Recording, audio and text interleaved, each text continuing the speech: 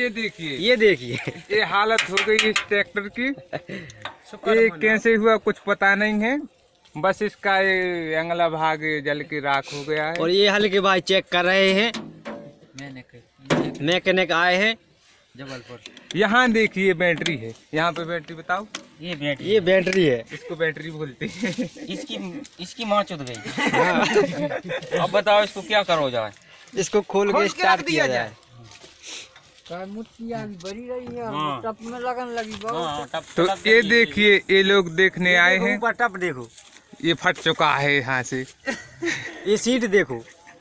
ये स्टेयरिंग भी steering steering भी कुछ नहीं बचा है। तार ही तार बचा है।